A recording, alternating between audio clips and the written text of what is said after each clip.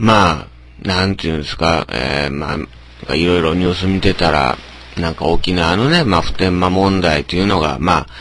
まあ、事実上、えー、鳩山総理が、えー、5月の、えー、決着は断念ということで、まあ、その代わりっていうかね、えー、こんな沖縄とかだけじゃなくて、全国に、えー、分散負担をお願いするみたいなね、えー、何言っとねこいつみたいなね、えー、そういうことをまた、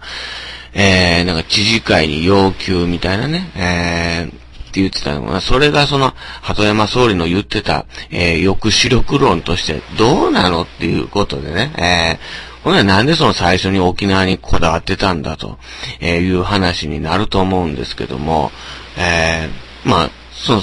その前はね、最初は最低でも県外とか言ってて、本当死に滅裂だなと。えー、なんか勉強してね、えー、沖縄のなんか抑止力が必要だから動かせないみたいなことを言ってみたりして、まあ本当にまあ死に滅裂なんですけども、まあそのね、なんか鳩山が、えー、なんかもっともらしく言ってる抑止力論っていうのがね、その沖縄の、え海兵隊の、えー、抑止力論というのが、本当に抑止力になってんのかっていうのが、まあ最近ね、えー、まあテレビとかでもマスコミでも、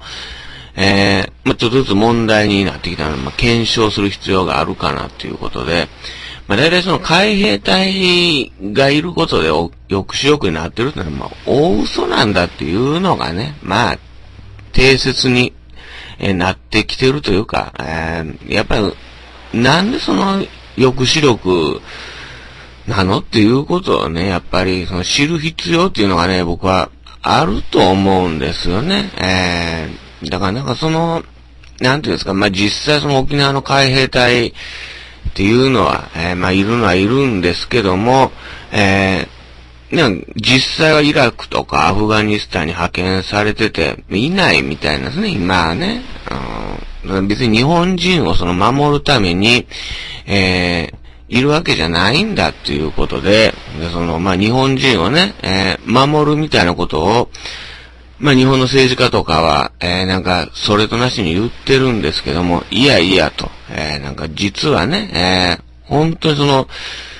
なんかそのアメリカがね、えー、海兵隊のその、守る、えー、優先順位っていうのは実はほんと決まってて、1位がアメリカ人を守ると、えー、2位が、えー、なんかグリーンカードの永住許可を持ってる人たち、えー、3位が、えー、イギリス、カナダ、えー、オーストラリアとかのね、なんか、全然、日本人が出てこなくて、え一番最後の5位の、なんかその他に、え日本人っ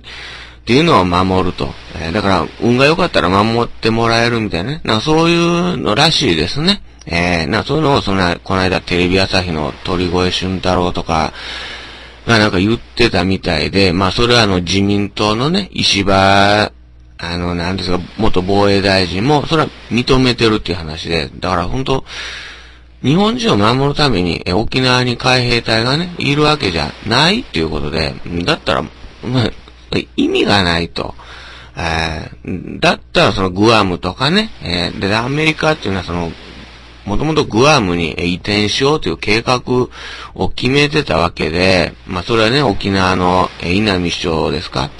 えー、それがね、その資料を持ち出して主張してたと思うんですけども、まあ本当他にもテニアンっていうね、テニアン島が、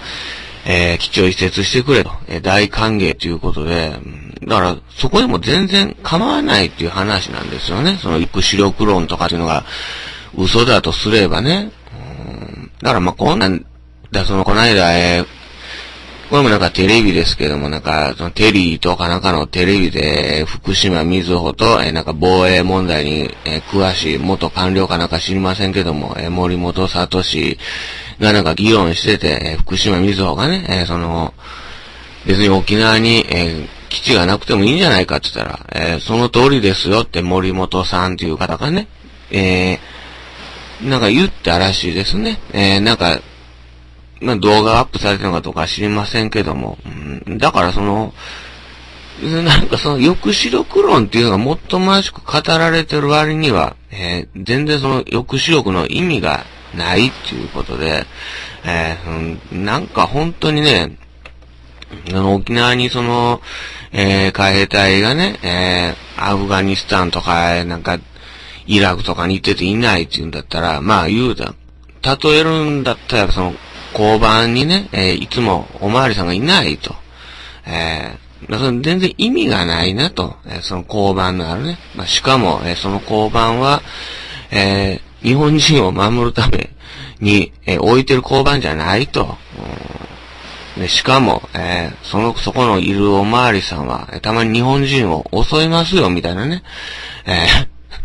ー、なんか、もうますますいらんなと。いらんどころか、え出て行ってくれっていう話に、え僕はなっていくと思うんですよね。うん、だからまあ、その、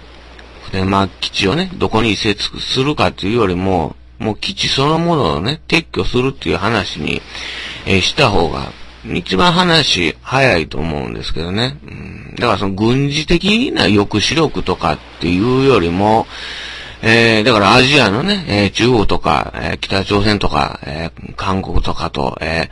ー、仲良くする方がよっぽどね、その抑止力に、えー、なるんだろうという。だからそれはその森本さんという方もね、外交が抑止力になるって言ってはるっていうことで、うん、だから、なんか、なんていうんですか、かそれがまあ常識的な話だろうっていう。で、僕も思うんですけどね、えー、何を思ったのか、えー、鳩山総理は、なんか、勉強して勉強して、やっぱり抑止力論が正しいみたいなね、そういうトンチンカなことを言ってるっていうこと自体に、えー、これはなんか、あのー、アメリカだけの問題じゃなくてね、日本の官僚とかね、利権問題とか、えー、なんかそういうのが、その、全く日本の防衛とかと、えー、関係ないとこでね、えー、その、決められてるんじゃないかなっていう、えー、感じがしますね。うんまあ、だからまあ、まあ、もっと、えー、こういうのがね、えー、表沙汰になってきたら、僕はいいかなって、えー、思いますけどね。